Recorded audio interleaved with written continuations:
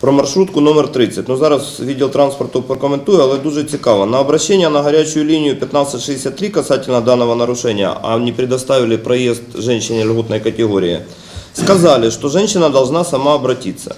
Ну и люди тут задают вопрос, если рядом горит дом, то что, ждать пока позвонит хозяин, то есть не звонить на 101?